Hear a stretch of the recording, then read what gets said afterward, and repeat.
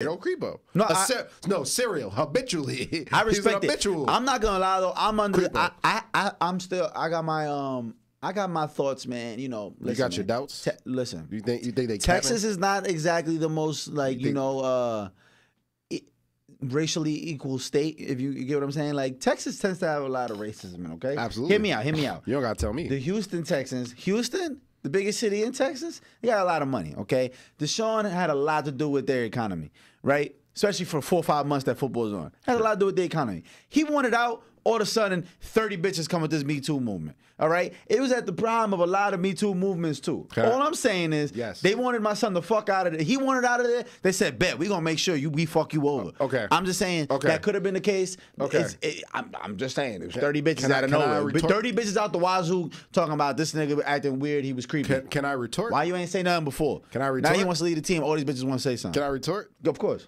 If if you're if you're if you're the owner of the team, what reason would you deframe somebody you can get high trade value for?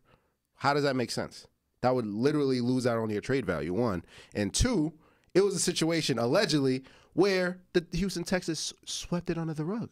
They knew what was going on. Allegedly, they knew what was going on this whole time. Swept it under the rug.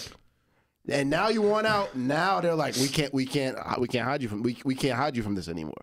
But but if if if your prized possession wants out and you want and, and and you're about to trade him, why would you def- deframe the man so you can get less trade value from him? That doesn't even make sense from a business, Business standpoint. standpoint. No, I, I see what you're saying. It doesn't sure. even make sense from a business standpoint.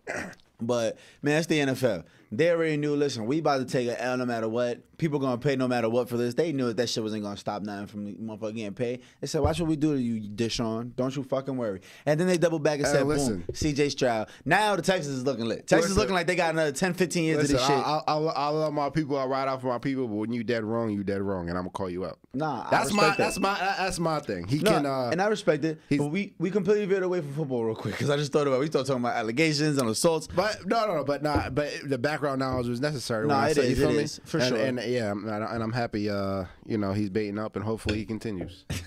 hopefully he continues. Listen, so I mean, I, I don't know, man. C.J. Stroud versus the Ravens.